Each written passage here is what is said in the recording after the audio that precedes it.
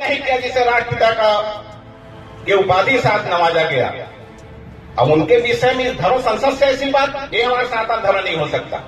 मैं बहुत क्षमा चाहता हूँ आप सबसे। आप लोग भले ही बुरा लगा हो, लेकिन इस धर्म संसद में अपने आप को अलग करता हूँ, पृथक करता हूँ। धन्यवाद। धर्म संसद में गांधी पर विवादित बोल। महंत राम सुंदर दास ने छोड़ा मंच, दिया बड़ा बयान। हरिद्वार में 17 से 19 दिसंबर तक धर्म संसद चली, जिसमें साधु संतों के दिए गए भाषण के वीडियो सोशल मीडिया पर वायरल हो रहे हैं। एशिया नेट न्यूज़ के अनुसार हरिद्वार के अलावा देश के दूसरे राज्यों में भी धर्म संसद का आयोजन किया जा रहा है। रविवार को रायपुर में इसी कार्यक्रम में कालीचरण महाराज ने महात्मा गांधी के खिलाफ अपमानजनक शब्द का इस्तेमाल किया, जिसके बाद वहाँ पर मौजूद महंत राम सुंदर दास ने नाराज़गी जताई और कहा कि मैं इस धर्म संसद से खुद को अलग करता हूँ।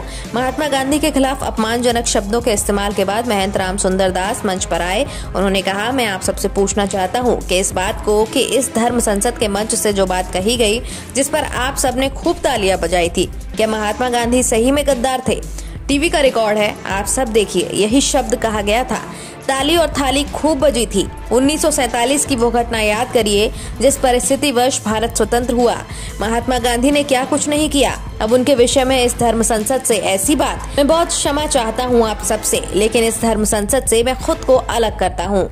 एशिया नेट न्यूज़ के अनुसार महंत राम सुंदर दास कांग्रेस के पूर्व विधायक और छत्तीसगढ़ गौ सेवा आयोग के अध्यक्ष हैं। सोशल मीडिया पर महंत राम सुंदर दास के इस फैसले को देखते हुए लोग लगातार प्रतिक्रियाएँ देते दिखाई दे रहे हैं।